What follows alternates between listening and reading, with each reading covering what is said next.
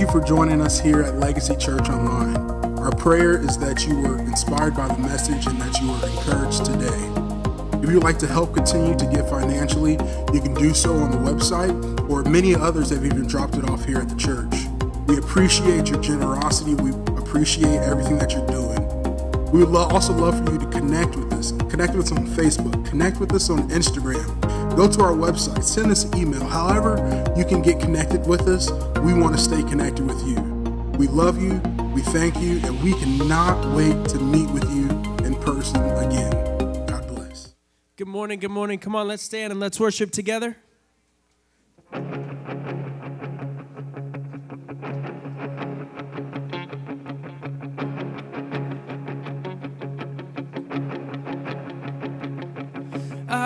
I raise a hallelujah in the presence of my enemies. Oh, I raise a hallelujah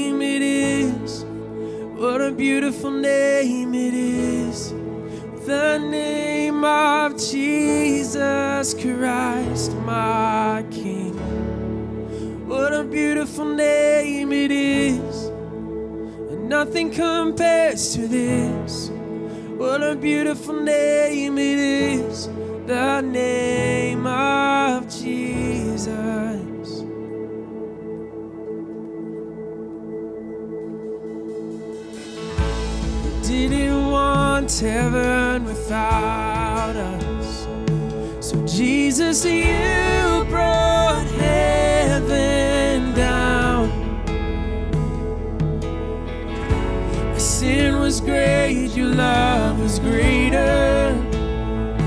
Oh, what could separate us now? What a wonderful name it is. What a wonderful name.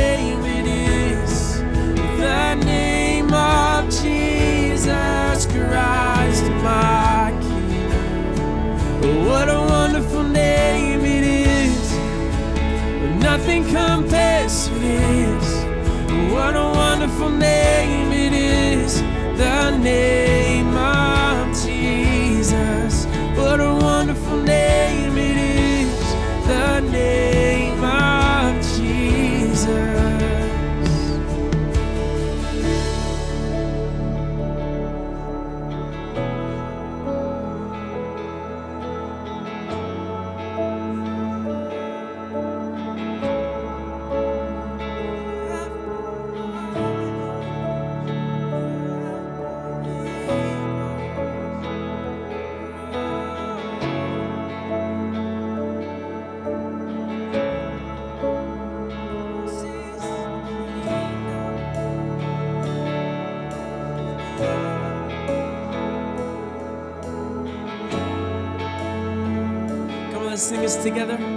death could not, death could not hold you. The veil tore before you. Your silence supposed of sin and grave. The heavens are.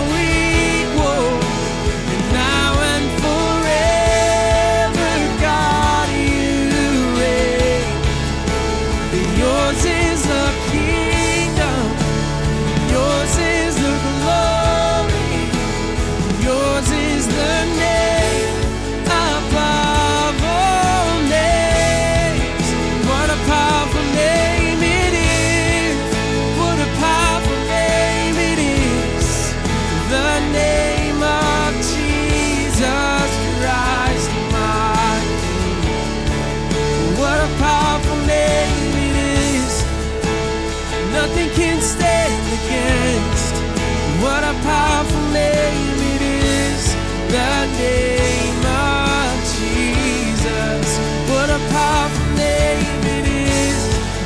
name.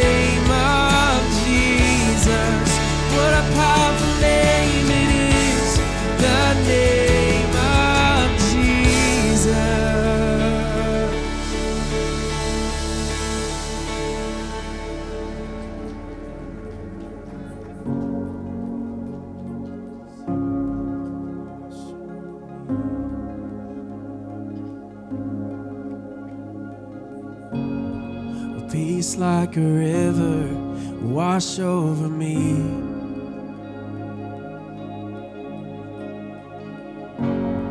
Immerse me in water as deep as the sea.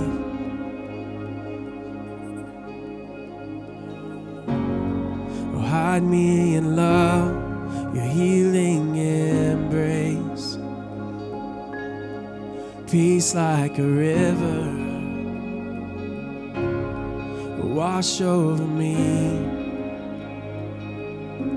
As I worship your majesty, I worship your holy name, Jesus, my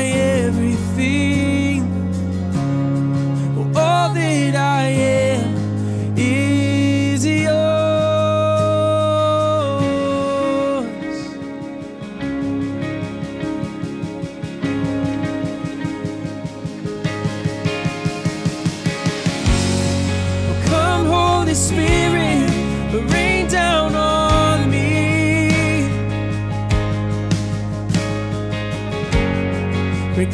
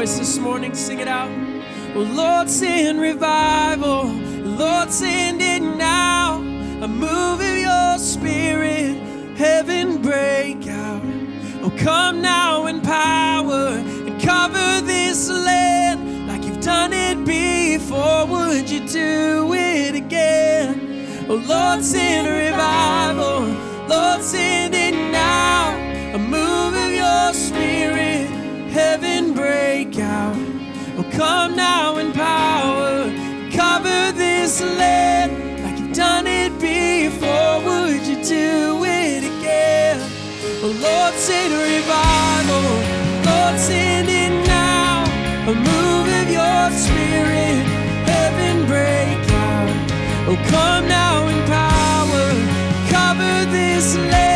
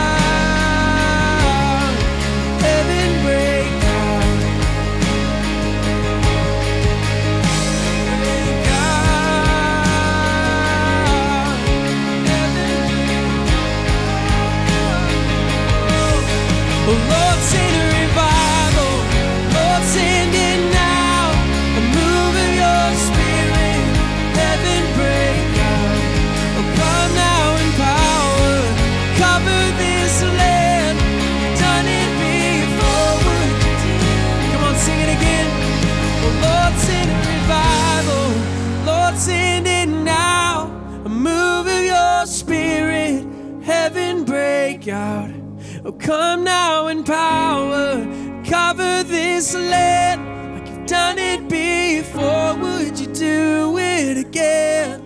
Oh, Lord, send a revival. Lord, send it now. A move of your spirit, heaven break out. Oh, come now in power, cover this land like you've done it before. Would Come on, reach up. Let's do it again. Come on, Lord. Lord, send a revival. Lord, send it now. Move of your spirit, heaven break out. Oh, come now in power, cover this land like you've done it before. Would you do it again? Revival. Come on, ask Him today. God, put revival in my heart. Put revival in my home. Put revival into my spirit. Come on, say that to Him. Lord, send revival. Come on, say it within yourself. Say it within your home right now. Surrender everything. I was thinking how that song was talking about. God, I've surrendered everything unto you today, God. Surrendered everything unto you today, Father God. When you have that kind of surrender, you've got that kind of passion before the Lord. Revival is just a it's just a it's just a part of who you are. It's just the residue of who you are and it's what God is doing in your heart and what God is doing in your life. It's just everywhere that you walk and in everything that you do, you're you're walking in that presence and in that power and in that spirit. It's almost like the angels. The Bible says that around uh, around God's throne that these angels they they fly around this day and night day and night, all day, every moment of every hour of every day, and they cry, Holy, holy, holy is the Lord God Almighty, which was and is and is to come. That's what the scriptures declare. And I believe every time that they fly around the throne of God, I believe that they say, God, we see your holiness. You are holy. I believe they fly around the throne of God and they see another attribute of God. They say, God, I see your forgiveness. God, I see your mercy. I see your grace. And they just continue to fly around singing, Holy, holy, holy is the Lord God Almighty, which was and is and is to come. And that's that spirit of revival. You know, Pastor Mike Dyer and I, and, and, and I'm going to talk about this in just a moment, but Pastor Mike Dyer and I from the River Church, we've been encouraging each other and building each other up. And the Bible talks about this. It talks about that one could put a thousand demons to flight. One prayer, what the, the prayer of one person, but two people get together, and all of a sudden God begins to wreck a city. God begins to meet the needs and the hearts and the lives of people because two or three gathered together in the name of Jesus. The Bible says nothing shall be impossible unto them that believe. And so I'm, in, I'm I may be old school. I may just believe what it is the Word of God is saying unto me, but I'm going to walk in that presence. I'm going to walk in that power. Sing it again one more time. Lord, send revival. I challenge you. I dare you to say, God, send revival to my heart. Send revival to my home. Send revival to my city. Send revival to this nation, to this world. I challenge you to declare it over your life right now. Come on. Lord, send revival. Lord, send it now. A move of your spirit, heaven break out. Oh, come now in power.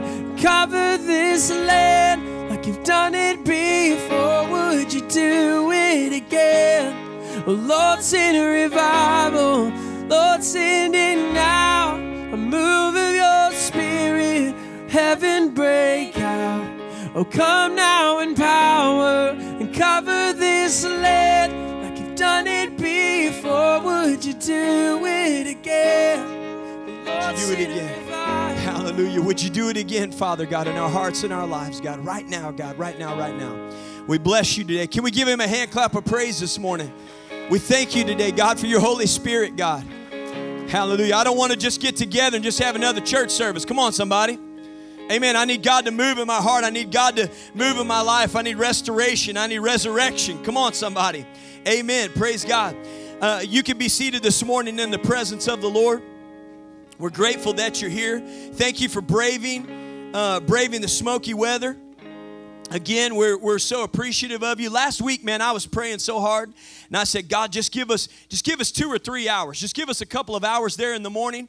And uh, once we get done with, with church service man let the smoke roll in. And i'm telling you my nephew was watching the air quality because he's he's like that. And he's just watching the air quality. And he's like hey it's it's this and it's that. And, and right about 11.30 it went up to 105 and he said unhealthy. It's unhealthy. It's unhealthy. And so uh, he, he was telling me about it. So i was grateful to see that uh, that God blessed us last weekend, and uh, so I believe that God could keep us, uh, uh give us long life, even in even breathing in the smoke. Come on, somebody, Amen. And uh, I know that He can. I know that He can. Hey, God bless you. Thank you for for being here this morning. We're we're so glad that you're here. We want to give you an opportunity to give this morning as giving unto the Lord. Thank you for giving online. We appreciate you and uh, so very much, and and your commitment to Legacy Church, your commitment to the purposes of God, and we're so grateful that you're giving. We're so grateful that you're engaged, and we know that God is going to minister unto your heart and minister unto your life. Will you pray with us this morning? God, I thank you today, Father, God, for the responsibility that you have given unto us, God, to share the gospel of the Lord Jesus Christ, God, among every tribe, nation, tongue, and people group. I ask you today, God, Lord, to move powerfully today, God, to touch every heart, touch every life, God. God, as we give, God, with expectancy today, Father, we give today, Father, with purpose. We give today, God, knowing that you're going to meet every need in our hearts and every need in our lives. We're going to give you glory, honor, and praise today. In Jesus' name, everybody said, God bless you as you give. There's some I'll be able to preach to you this morning. If you have your Bibles, you can turn to Matthew chapter 6 and verse 25. Matthew chapter 6 and verse 25. We've been in a series entitled uh, entitled If. And this morning I want to talk to you about if God cares. Say that to your neighbor, all right? Don't spit on them. Maybe you might have to whisper it, okay? Be COVID free about it, okay? But say, if God cares. Pastor Mike, it's tough to be COVID free throwing that F out there. Throwing the F, it's, it's, it's a lot more spittle uh, than, than what I'm used to. If God cares. Matthew chapter 6, verse 25, the Bible says it like this This is why I tell you not to worry about everyday life, whether you have enough food and drink or enough clothes to wear. Isn't life more than food and your body more than Pastor Harlan boots? Okay, more than clothing. Isn't my body more than clothing? Scripture says, right? Look at the birds. Somebody say, Look at the birds. This is so powerful. I'm getting ready to encourage you in the Lord this morning. The Bible says birds don't plant, birds don't harvest, birds don't store food in barns, for your heavenly Father feeds them. And aren't you far more valuable to Him than they are? Can all of your worries add a single moment to your life? Or scripture even talks about can it add height to your life? Can it can it add height where you have a greater perspective, a greater outlook? Can it even add uh, an inch to your life? No, it cannot. Amen. Verse 28. And why worry about your clothing? Look at why. Uh, excuse me. And why worry about your clothing? Look at the lilies of the field and how they grow. They don't work or make their clothing, yet Solomon, in all his glory, was not dressed as beautifully as they are. Verse 30. And if God cares, if God cares so wonderfully for wildflowers that are here today and thrown into the fire tomorrow, He will certainly care for you. Why do you have so little faith? So don't worry about these things, saying, What will we eat? What will we drink? What will we wear? These things dominate the thoughts of unbelievers. But your heavenly Father already knows all of your needs. Seek the kingdom of God above all else and live righteously, and He will give you everything that you need. So don't worry about tomorrow, for tomorrow will bring its own worries. Today's trouble is enough for today. Somebody say a good amen. Amen. So, a couple of quick things that we're going to talk about this morning. Number one, when you're anxious, when you're afraid, remember these things. You don't have to have it all figured out. Amen. Number two, God knew that you would be afraid. And number three, sometimes we pray for the wrong things. Amen. So, point number one, you don't have to have it all figured out. You, you, you ever know people like that? my, my, my son, my oldest son, and my wife, they're planners. I, I love them because they're planners. But guess what? Got I've got scripture to back it up. You don't have to have it all figured out. Sometimes you can fly by the seat of your pants. Come on, somebody. Amen. You can just kind of roll with it. You know, when a movie character is in a situation that requires courage, it looks great. I mean, it's so exciting. Everybody's going to win. You know the end of the story. You're like, man, everybody's going to win.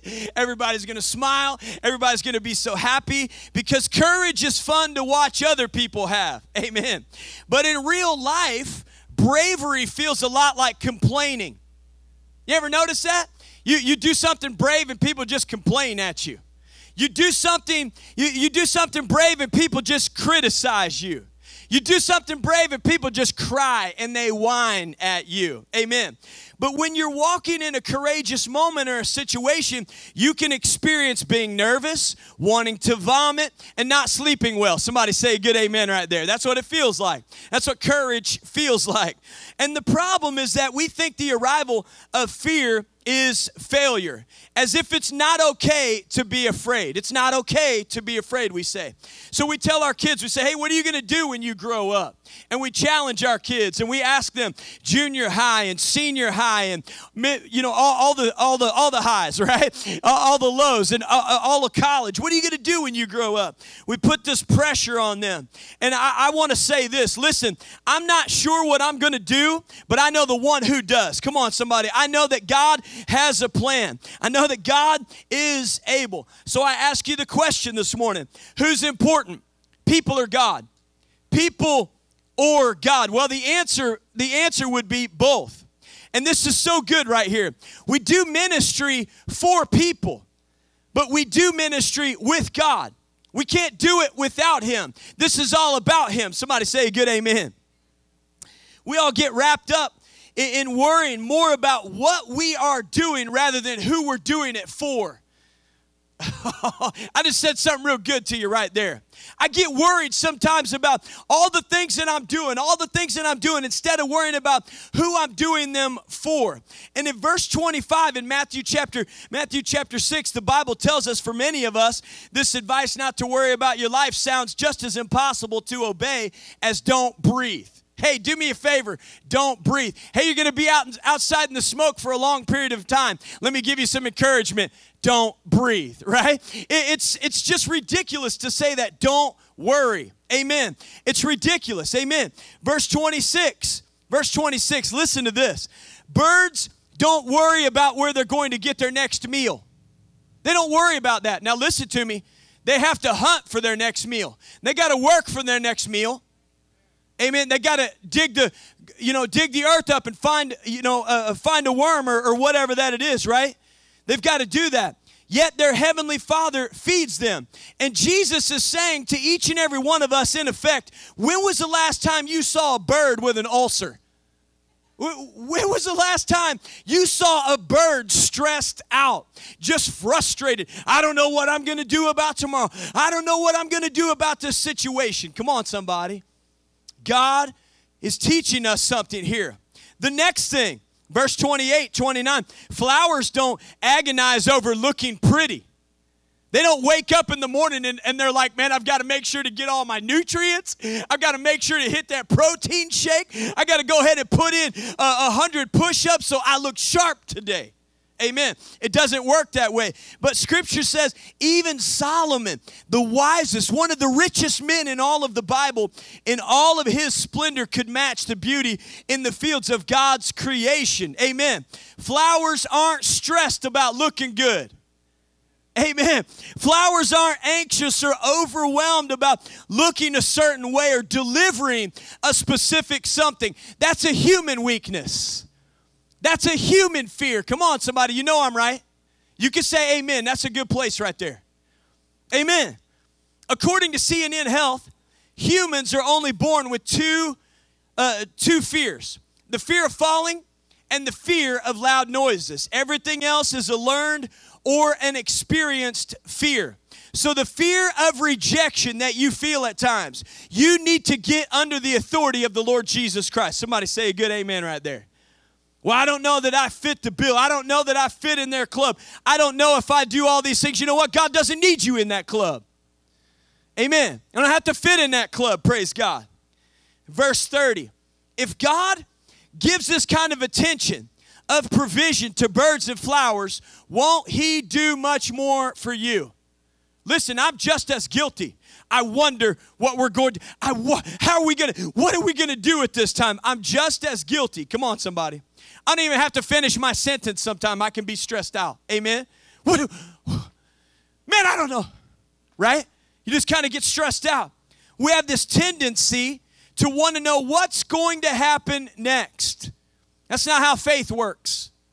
Moses didn't get spoken to. Read it in the scriptures. He didn't get spoken to about his purpose, about what God was going to do in his life until he took his shoes off standing there at holy ground. That's God said, "Hey, you take your shoes off." I, he was like, "There's a burning bush. There's a bush that's there out in the wilderness, and it's not it's not being destroyed. It's not catching else catching anything else on fire. I've got to go see about this bush." Moses shows up to the bush, and the bush speaks to him. And God said, Hey, I got to tell you something about your future. But he doesn't get spoken to until, until he takes his shoes off. Noah, he had to build the boat to save his family. Amen. He could have sat there and talked about it. God's going to send a flood. God's going to wipe out everything over the over the face of the earth. What am I going to do? Build the boat. That's what he's going to do. Amen. Joseph had to take Mary as his wife, who was pregnant, or she had conceived of the Holy Spirit, amen, and he had to name the baby Jesus. He had to walk in step. Abraham left his homeland in search of God's promise and inheritance to a place he didn't know how to get to. Each and every one of these people, each and every one of these men and women had to take a step without knowing what was next. That's how faith works. Amen. You'll never know where God is taking you unless you're first willing to leave where you are. A lot of people don't want to leave where they are this is good enough. And they live in the land of good enough. They live in the land of just enough. They live in the land of, well, we, we've got a little bit more than enough, and they stay happy with that. Come on, somebody. God wants to do miracles and signs in your life. And God takes you places that you can't plan. Amen. And for our lives, that's the way faith works. For our lives, for our careers, our relationships, our kids, and our calling from God. I have a lot of people, they say, Pastor Mike, I'm ready to step into my call of God. Let me ask you the question Have you taken off your shoes in the holy ground yet? Have you allowed God to deal with the you? Have you allowed God to deal with the sin in your heart, the spirit of negativity or the spirit of criticism that lives on the inside of you? Because until you get that dealt with, come on, somebody, you're just going to continue to wonder what is God going to do with me? Amen.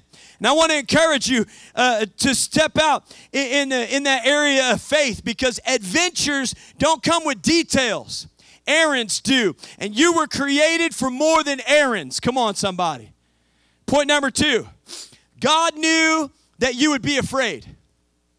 God already knew that you would walk in that. The most repeated phrase in the Bible is do not be afraid. It's not don't do this certain thing. That's what a lot of people they they think that the Bible's just full of all those things. Don't do all these rules. Don't do all these things. That's not what the Bible's full of. The Bible's full of encouragement. The Bible's full of promises. Come on somebody. And one of them says do not be afraid. And if you suffer or are currently suffering from fear and or anxiety, you need to know the most repeated advice in the Bible. Do not be afraid. That's good word right there. Deuteronomy chapter 31 and verse 6, the Bible says, So be strong and courageous. Do not be afraid and do not panic before them. Do not panic before them. For the Lord your God will personally go ahead of you. He will neither fail you nor abandon you. Listen, God's not going to walk out on you. I don't know what it is that you may have experienced in your past, but God's not going to fail you. He's not going to walk out on you. He's not going to leave you like others may have left you. Come on, somebody. It's not how God works, it's not how God operates. And if you're wondering, why God has to tell his people so many times in scripture to be strong and courageous is because he knew the human tendency to be afraid and discouraged, especially when facing giants. you may be facing a giant today. The giant of financial stress, the giant of uh, the situation that's going on in your marriage, the giant of school. What are they going to do with school? They keep charging me, but I feel like no one's teaching me. Come on, somebody. Amen. You know, the, the, the giant of that situation, man, they, they keep telling me at my work that they may lay us off. They don't know what they're going to do. And my favorite instance about fear is Matthew chapter 6 and verse 26 talking about birds. What a gift that it is. And God chose a bird. There's over, there's between, according to the animal planet,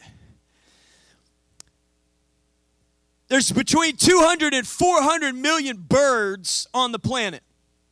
And everybody has seen one. If you're sitting under the sound of my voice and you have never seen a bird, can you raise your hand? Stephen? Is that you, man? He's got his hand up? No, he ducks it back in the car. No, just kidding. He was just giving me an amen out there. You've seen a bird. You've witnessed a bird. Everybody's seen one. So we have thousands of reminders of God's grace and God's provision. Every time you see a bird, it, it flies in, it may be sitting on a perch. You have thousands of reminders. God's got you because God's got the bird. Amen. And God cares more about the birds. He cares about the lilies of the field. He cares about the flowers. Doesn't He care so much more for you? Amen. That's what Scripture's teaching us uh, about that. Every time you should be reminded of your extreme value. You should be reminded that God is your source and that God is your provider. Hallelujah. Verse 31, it says, Don't worry about life's needs. After all, idolaters or unbelievers seek after these things and they become anxious. That, that defines them. That should not define the life of a believer. Love ought to define us. Amen. Faith ought to define us people who are idolaters, people who are unbelievers. They're pleading out there with their false gods looking for some kind of help. But you have a heavenly Father, the true and living God, who knows exactly what you need. Why don't you call upon Him and ask Him for some guidance? Ask Him for some direction. Ask Him for some healing. Come on, somebody, give me an amen. It's not wrong to plan and work hard. We should do these things. But our error happens when we remove God from the equation or we fail to give him priority. So, Pastor Mike, verse 33 what then is the antidote for worry? What's the antidote for worrying? You ready for it? Seek first the kingdom of God and God's righteousness. And if you get that right, everything else falls into place. Everything else, listen to me, everything else, that's Matthew chapter 6, verse 33. Everything else will begin to fall into place. You seek first God's kingdom, you seek his righteousness or your right living before him. God will take care of all the other things. Come on, somebody. Scripture did not promise that everything would be perfect, right? It's not the Lego movie. Everything is awesome. Everything is great when you're part of a team. Everything is awesome. No, everything's not awesome. Come on, somebody. It's a good song and it rhymes well and it's in my head and I can't get rid of it. It's been blocked from our grandkids' viewing. Come on, somebody. No more watching the Lego movie. Because I cruise around cutting grass going, everything is awesome. Every, yeah, it's what I do, okay? But there's going to be difficulty. There's going to be hardship. There's going to be frustration. Come on, smile at me. There's going to be frustration. There's going to be ridicule. There's going to be persecution, but in all things we are to rejoice in the Lord always. And scripture says, and again I say, rejoice, because God demands that His kingdom rule be first in your life. And when it's missing, listen to me, when it's missing, you've identified the key to all of your problems. Pastor Mike, I've, i put God out of order. I put all these other things out of order. Look at me then just like the vending machine that you walk up to says out of order on it you can put money in it it's not going to give you anything but it's just going to keep taking your money your life's out of order your spirit is out of order and you've got to get it into check. You've got to put yourself back into play. Come on somebody. Righteousness is the standard that god requires in order for his people to rightly relate to him. And so to seek his kingdom is to seek to live in accordance with His standards, with His guidelines, and with His promises. And because of all those things, the faithfulness of God, the purpose of God. But the Bible says that goodness and mercy will track you down, it'll hunt you down all the days of your life. Hallelujah. And of course, prioritizing God's kingdom in this way doesn't mean that you won't experience challenges, even suffering, but your life will be aligned under his kingdom authority, so therefore you qualify and you can experience his provision. Let me say it to you like this In baseball, you could step on second base, you could step on third base, you can step on home plate without being tagged. But if you missed first base on the way, nothing else matters. Amen. That's the qualifier. First base. Amen. The righteousness of God. You, you miss first base, you're out. God cannot, God will not play second. Smile at me. Go ahead. It's okay. My pastor used to say this smile at me, show me your teeth. Don't take them out, just smile at me, show me your teeth. How do you know if you're putting God's kingdom first? Well, you've got to ask yourself this question When I need guidance to make decisions, where do I go first? A lot of people, God is their spare tire. He's where they run when all else fails. So, do you seek God's perspective first through His Word and through godly counsel, or do you seek the world's perspective?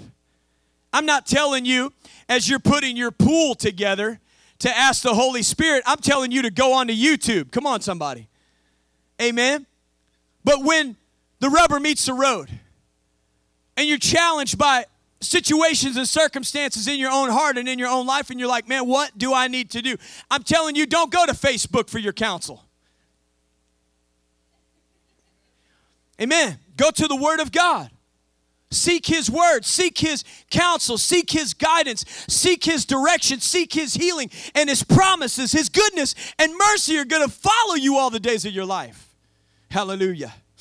Align yourself with God's agenda and your Father will take responsibility for meeting all of your needs. Amen. And finally, point number three sometimes we pray for the wrong things. You ever pray for the wrong things? Only two of us. God bless you. Thank you for being honest. Oh, okay, there's a few more of us. A few, you know, a few half, you know, some of you half masters. That's, that was me. Oh, he's talking to me. Yeah, you know, just kind of you know, those auction people. Just give you the head. That's me. That's me. We pray for the wrong things. Last week we asked the question what if all the circumstances that you're asking God to change are the very circumstances God is using to change you? And I'm walking in that, and God is changing me, and I don't like it. Come on, somebody. People say, they, they say people like change. That's not true. I hate change.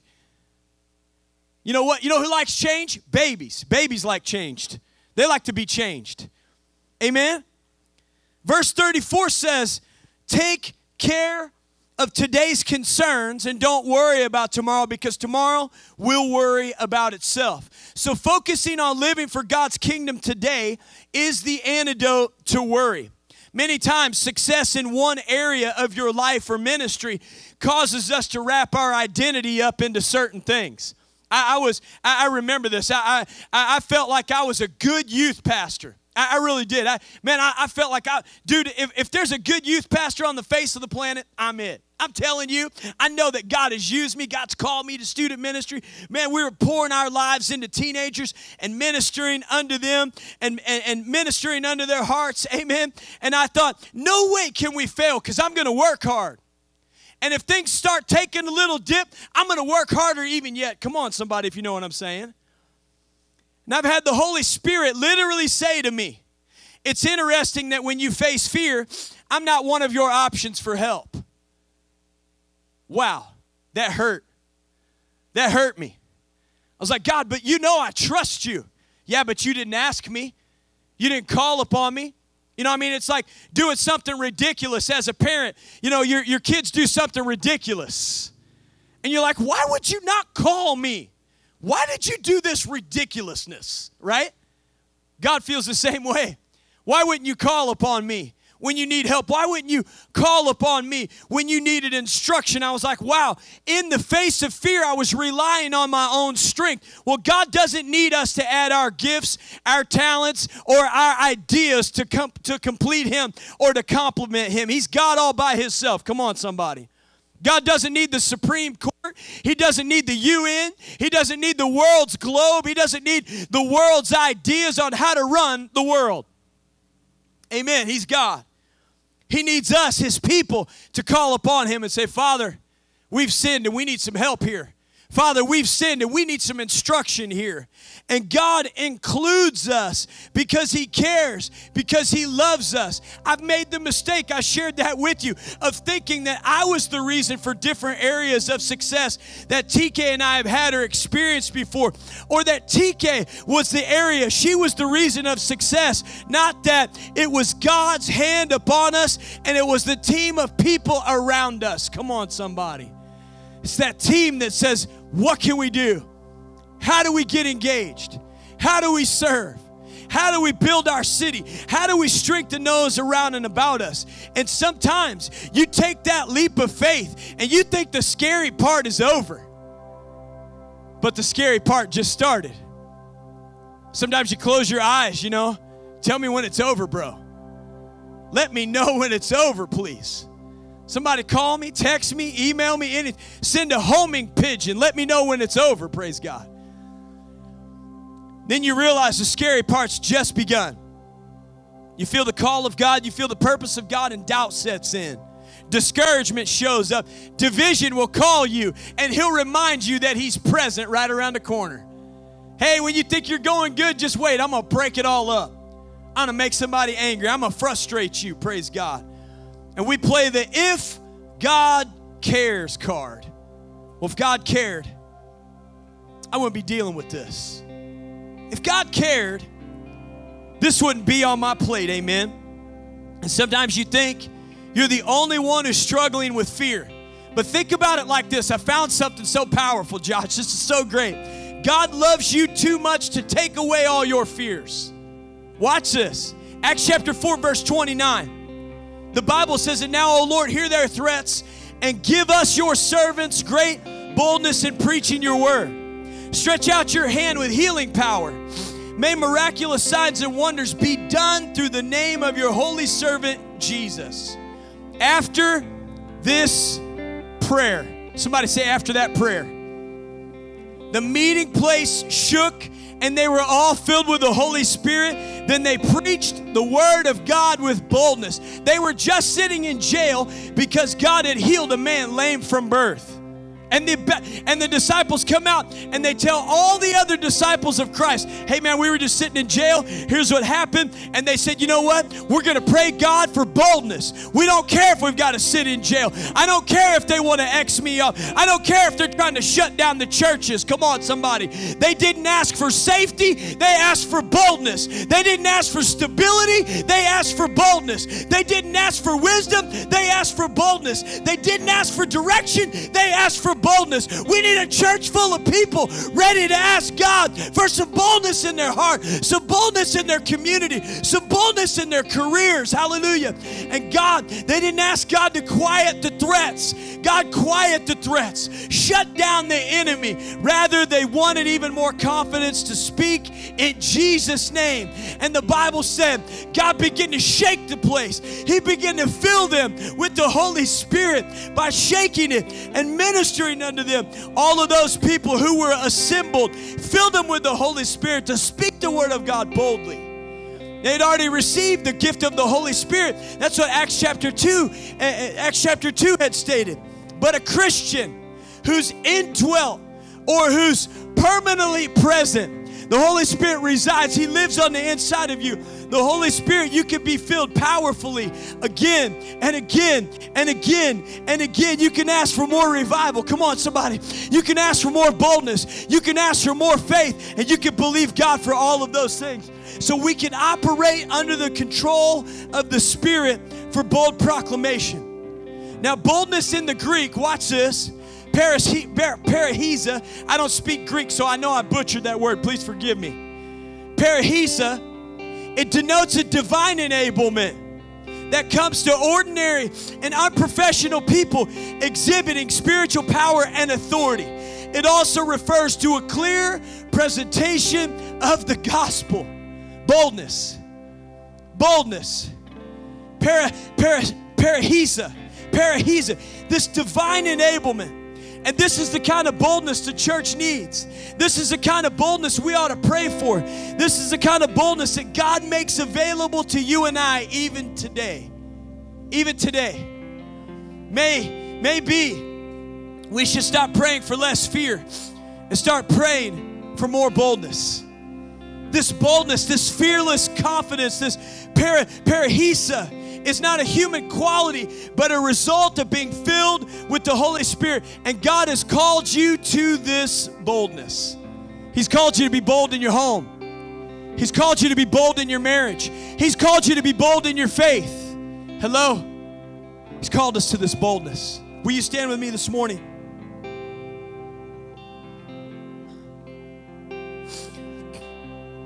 You say, Pastor Mike, I don't know the Lord Jesus Christ as my Savior. And I want to say yes to Him right here, right now. You may be watching us online and you may say, you know what, I, I want to know Jesus Christ as my Lord and Savior. The Bible says that when you call upon the name of God and you believe that Jesus Christ came, born of a virgin, that He died for your sins and He was resurrected from the dead to deliver you and to rescue you, the Bible says when you call upon His name, you can be saved. You could be saved. You could call upon His name right here, right now. That's you calling out unto Him. You say, Pastor Mike, I don't know the Lord Jesus Christ as my Savior, and I want to know Him. I want to say yes to Him right now.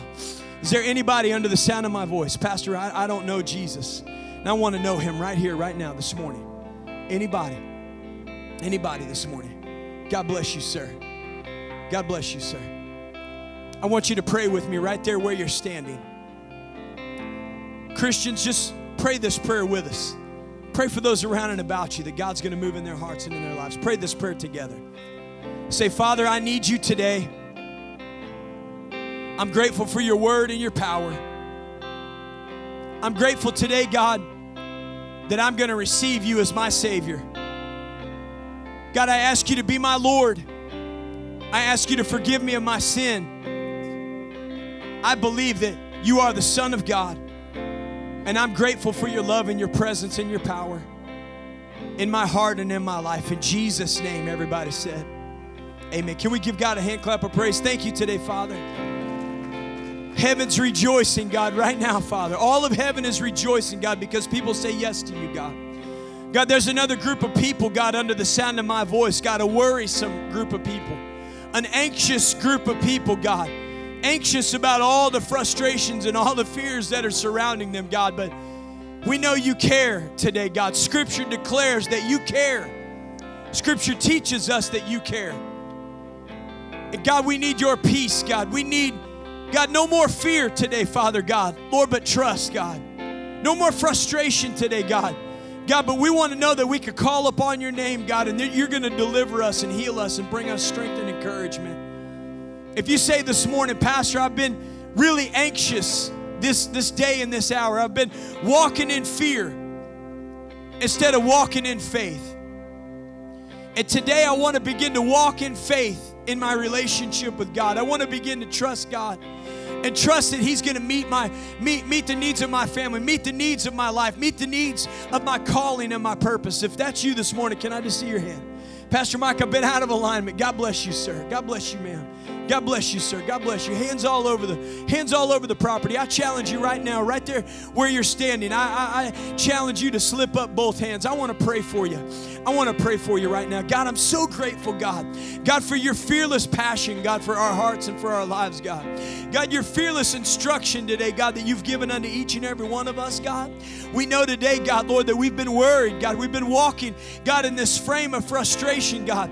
God, and we know today, Father God, Lord, to receive, God, all that you have for us, we have to leave our current state, God, of unbelief, our current state of not being faithful, God, not being true to the word that you've put in our hearts, that you put in our lives, God. We know that you care, God, more than the birds, God, more than the lilies of the field, God. And we're going to step into your purpose and your design in your heart, God.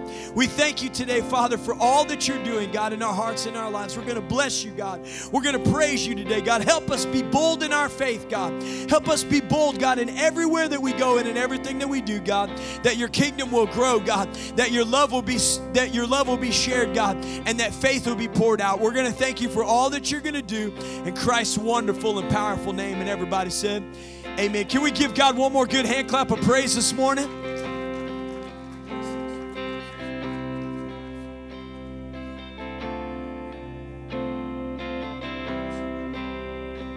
We're going to sing one more time, Lord, send revival. I challenge you to call upon God for Him to send revival into your heart, into your life, into your city, and your community. As we're believing God for a move of His Spirit this Saturday night in our homes, in our lives, in our churches, let's pray. Let's ask Him to continue to touch us and strengthen us as only He can. Come on, let's do it tonight.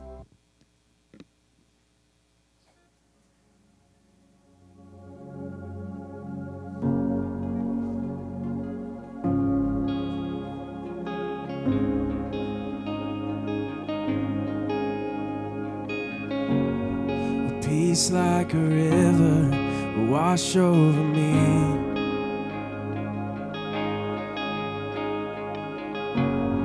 Immerse me in water as deep as the sea.